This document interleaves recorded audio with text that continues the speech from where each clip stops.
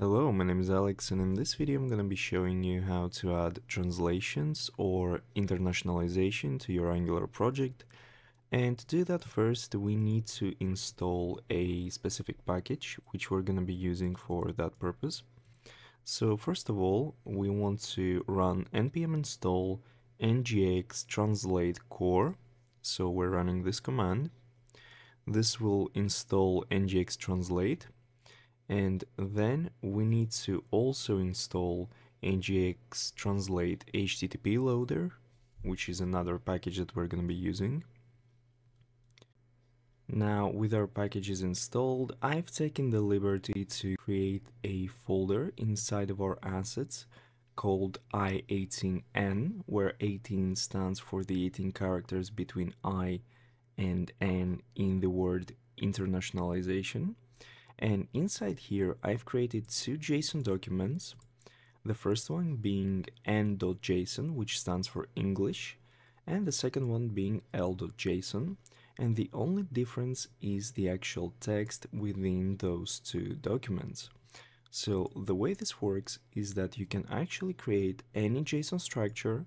So this is just a normal JSON, and then you can split it into sections, into objects, and then you can have different translations and different sub-objects for your components, pages, etc.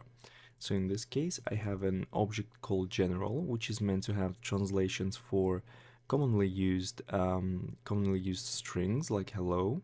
And then I also have an object for my homepage, which just has a title which I've set to home. Now I've just translated these into Greek in my el.json file so this is how you create your translation files.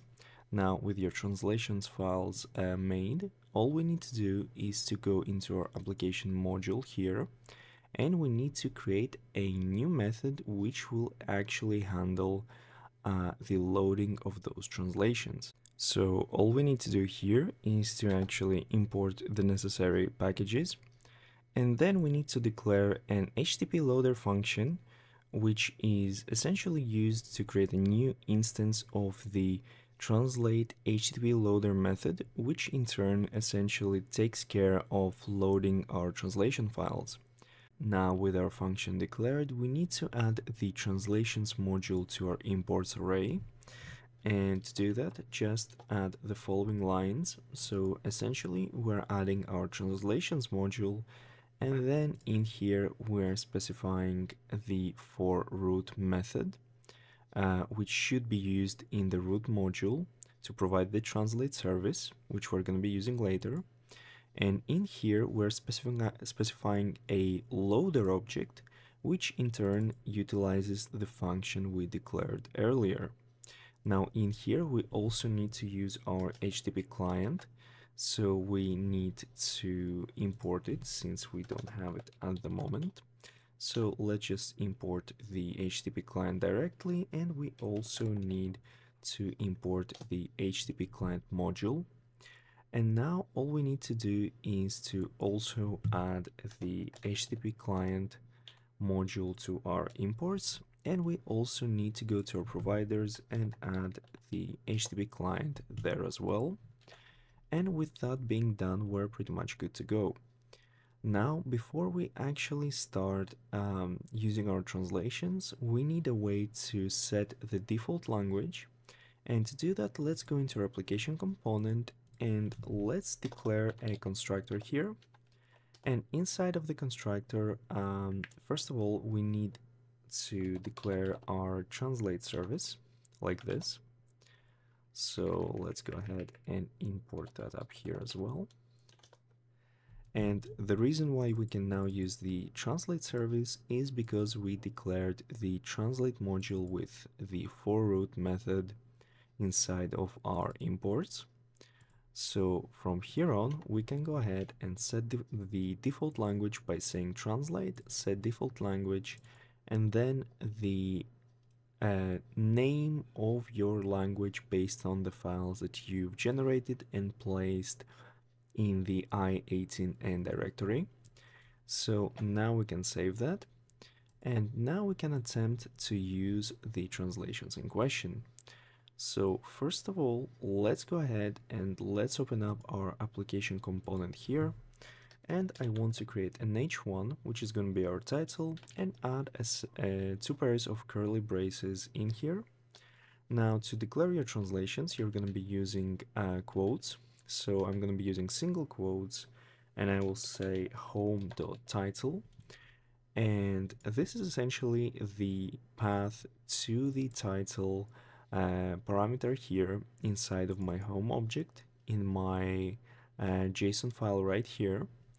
So I'm just saying home.title and then to actually translate the uh, string in question, all I need to do is use a pipeline and say uh, translate. So we're using the translation pipeline here. Now, if we save that and if we go into our project here, as you can see, we can see home up here. So the translation has been successful. Now, let's also try to add the hello string. So we will make a new spannable in this case, and we will do the exact same thing. So I will just say general.hello, and I will just add my translation pipeline. I will save, and as you can see, everything works perfectly well. Now let's test if the Greek translation also works. And to do that, let's go back into our application component and change the default language to L. And as you can see, when I switch back to my project, everything works fine. Now, one question you might have is why we're using the i18n folder specifically and how does the translation module know where to look. So by default, the, trans the translate HTTP loader will always look inside of your assets folder and it will try to locate the i18n uh, directory.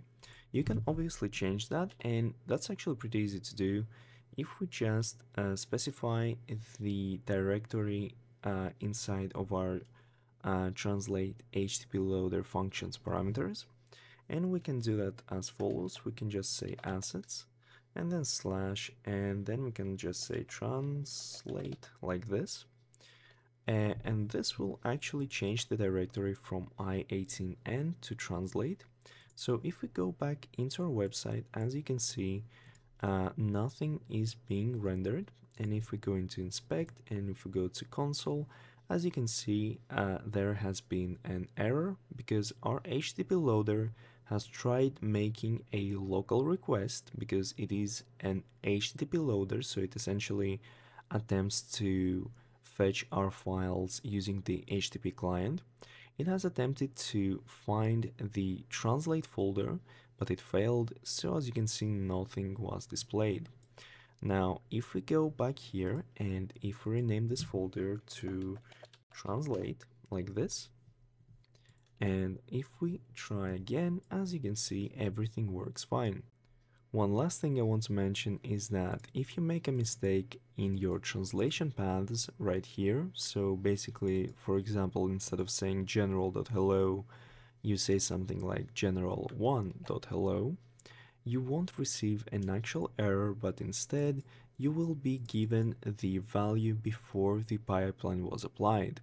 And you have to be very careful with that because in such scenarios, you might accidentally misspell a path to a specific translation in your JSON object and you might not notice it um, until it's too late and you might have incorrect or missing translations somewhere in your project. So you should always be very careful when uh, spelling those paths and you should always double check and ensure that you don't have any missing translations.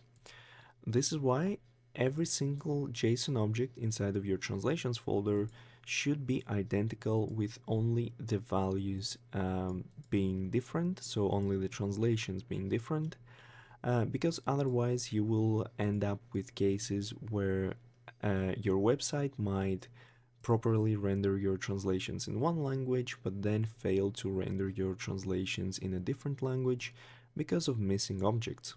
And that's pretty much it for this video. I hope you found it helpful and if so make sure to leave a like and subscribe.